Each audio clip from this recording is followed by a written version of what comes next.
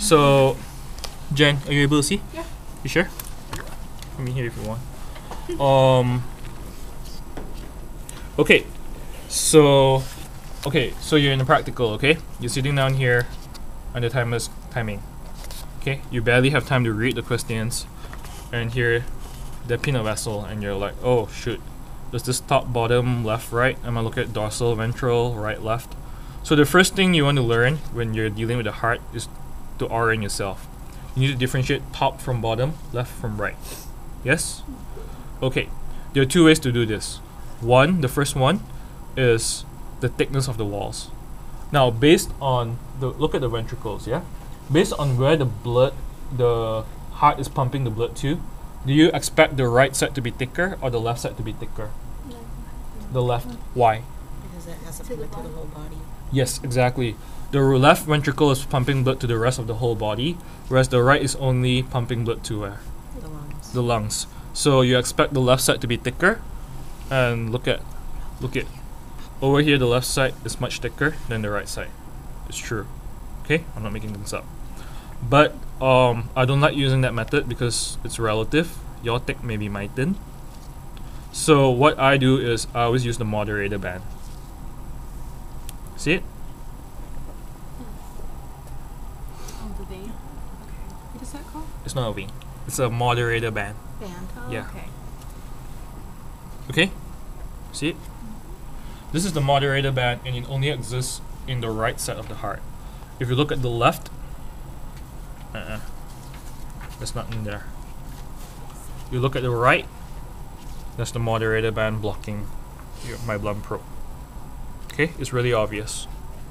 So that lets you know that you're looking at the right side. So that's all fine and dandy. What about dorsal and ventral? If you have the moderator band on your right side, you know you're looking at the dorsal surface of the sheep's heart. You guys get me? Moderator band on the right. This is my right. I know this is the dorsal surface of the sheep's heart, so the sheep's like this. Okay? And this is ventral. On the other hand, if I open it here, and the moderator band is on my left, that means I'm looking at which surface? ventral, Ventral, which means that the sheep's standing over me with its legs, like this. All right. Are we clear on that? Everyone comfortable? Mm-hmm. Okay. So now we know this is which side? Right. Right. This is dorsal. So you have your atrium, ventricle, atrium, ventricle. Yes? Okay. So the first thing you need to know, this is the right atrium. Yes? What are the vessels associated with the right atrium? Vena cava. Vena cava. Carries what blood? Deoxygenated.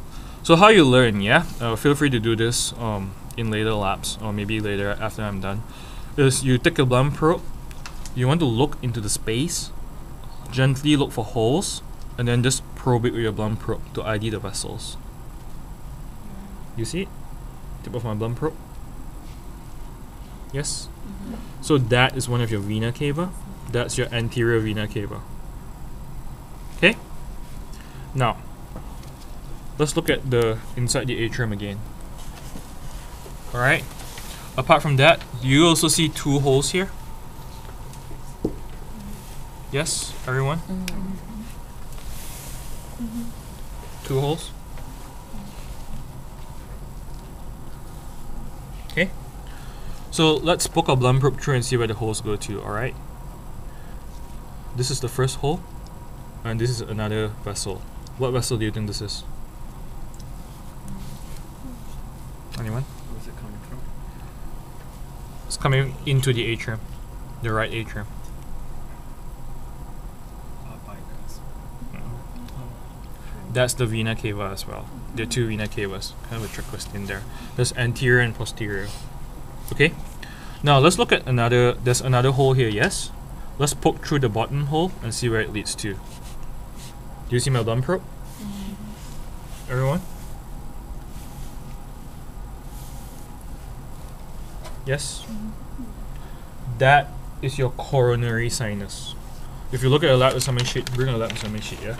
If you look at a lab assignment sheet, that is on number 10. Okay? Locate the opening of the coronary sinus ventral to the opening of the posterior vena cava. Let's see again. Here is your posterior vena cava, yes? Everyone see it? Mm-hmm. If you look at the hole and there's another hole below it, that is your coronary sinus. It is a large vein which collects all of the blood returning from the myocardium and discharges it into the right atrium. So, the heart itself pumps blood to the rest of the body, yes? But the heart itself is an organ which requires blood. So, this is actually the vein, you can see it as the vena cava of the heart itself. So, it collects all the. So, the heart itself uses blood, yes? So, this coronary sinus right here is where all the blood that is used by the heart is collected and then it discharges back into the right atrium to join the rest of the used blood from the vena cava so it can go back and pick up fresh supplies from the lungs. You guys getting me? Okay?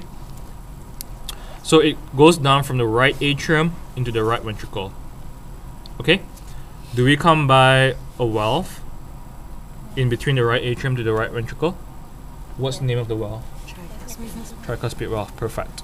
Okay, so now we're in the right ventricle and we've passed through our tricuspid valve. Um, the blood at this point, is it oxygenated or deoxygenated? Deoxygenated. Deoxygenated, very good.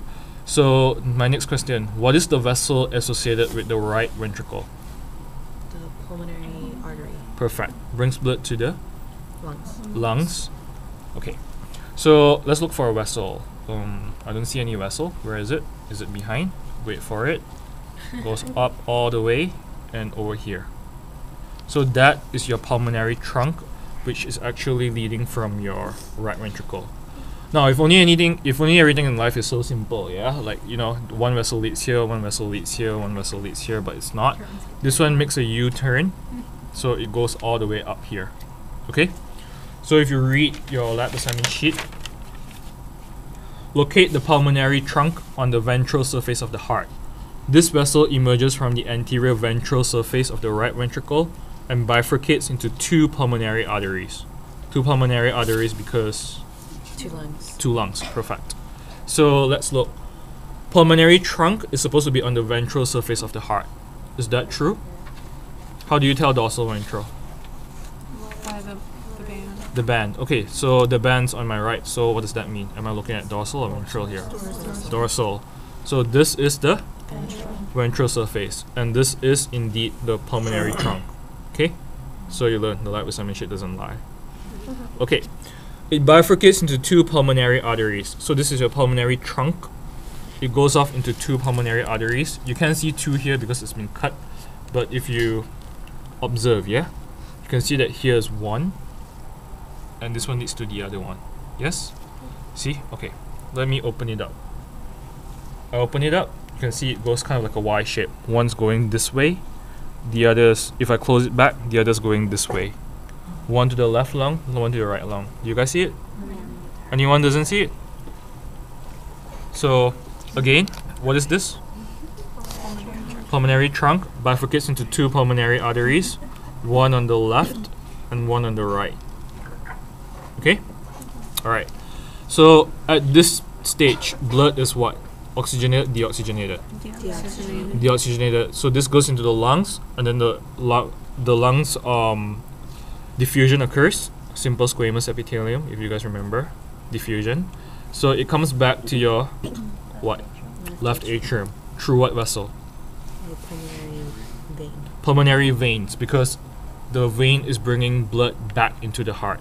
And in this case, our blood is special. It happens to be oxygenated or deoxygenated. Oxygen. oxygenated perfect so let's look for the left side this is the left side okay this is the left atrium. This is the left ventricle. So any vessel that you can find emerging from this left atrium is your pulmonary vein. There's one here.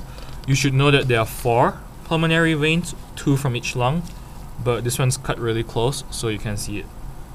Okay? How many pulmonary veins are there again? Four. four. Two from each lung and they carry what kind of blood? Oxygenated. Perfect. So as the blood comes down from the left atrium into the left ventricle, they go by a valve. Yes? What is the valve called? Bicuspid. bicuspid two, left is four letters, yeah? So let's look. Okay, now about the valve themselves, you need to know that these are the cusp of the valves. Over here and over here. Okay? Yes? Mm-hmm. This is the cusp of the valve. Over here, you see the string-like structures that connect the cusp of the valve to the ventricle wall. This is called chordae tendineae. Can everyone see? So one more time. This is what? What is this? Careful. The That is the cusp of the valve. Okay? Now, this chordae tendineae are anchored to these things here, these muscles here. Those are your papillary muscles. So named because they're nipple shaped. Okay? So, chordae tendineae, the nipple shaped papillary muscles, and these are your cusp of the valves. Okay? Comes down here, left ventricle, and at this point, is your blood oxygenated or deoxygenated? oxygenated. Okay, what is the vessel associated with the left ventricle? Aorta. Aorta. So if I were to poke my blunt probe up, each I should be going towards the aorta, which is true because this is the largest vessel in the body, the largest artery in the body.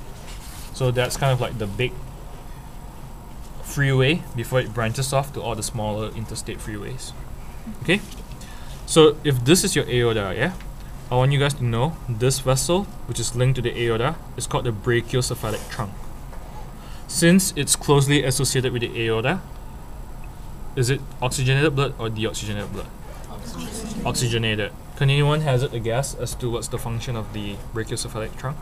Uh, to bring blood to the lungs. Mm. Something for the brain. Yes, exactly, Oh. the brain.